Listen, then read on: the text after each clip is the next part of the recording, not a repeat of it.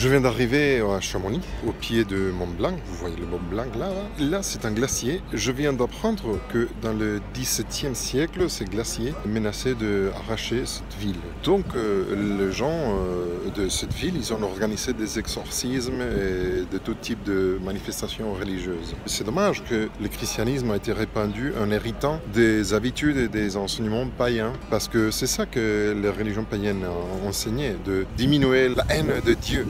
Mais dans ces cas, euh, c'est parce qu'ils n'avaient pas l'accès à la Bible. C'est dommage, parce que si les gens ont su que Dieu cherche tout le contraire, de nous aider, les gens ont recherché l'aide de Dieu à la place d'offrir des sacrifices, tout ce type de choses. Si tu as des soucis dans ta vie, c'est pareil. C'est pas une question de avoir pourquoi Dieu est fâché avec moi. C'est une question de se mettre à l'aise avec lui, de lui demander de l'aide.